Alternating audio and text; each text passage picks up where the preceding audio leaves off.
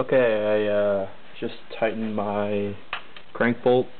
Honestly, the 90 degrees was not that bad, but I used that ARP Ultra Torque stuff, and uh, I did it all by hand.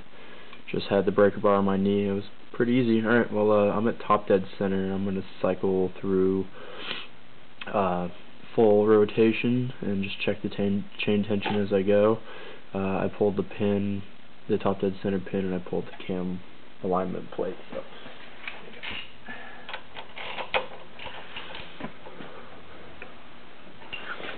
So there's going to be some some tighter spots and some looser spots, just because um,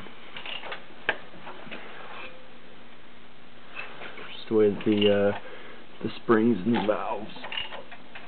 That's gonna be a tight spot push on the lobes of the cams.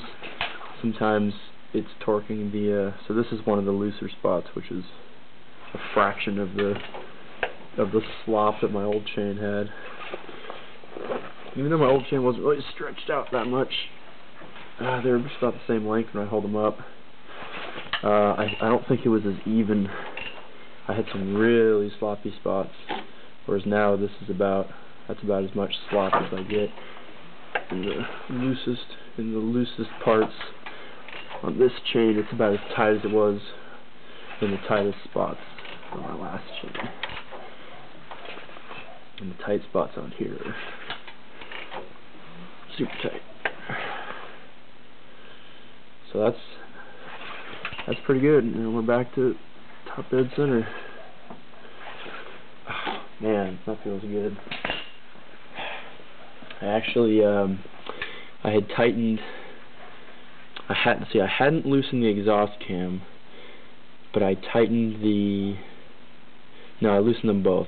So I did end up loosening the exhaust cam put the new VVT on and I had actually torqued them both down um, and pulled the pin on the chain tensioner. But when I was cycling it through uh, checking for valve clearance and just checking for chain tension um, the tensioner, I kind of reached down and pushed on the uh, on the tensioner arm, and the tensioner clicked out another click, um, which basically means that the the tension on the chain down below these sprockets uh, just got a click tighter, whereas between the chain or between the sprockets, the chain was didn't it didn't get affected by that click. So then I cycled it through a couple of times, and the difference suddenly between my loose and my tight was pretty stark. It was it was like probably three or four times that amount. I'm pushing pretty hard right now, so I had to I had to then loosen them both back up and do it again to even out the chain tension again. And this time it looks it looks perfect. Okay, so I'm happy with that.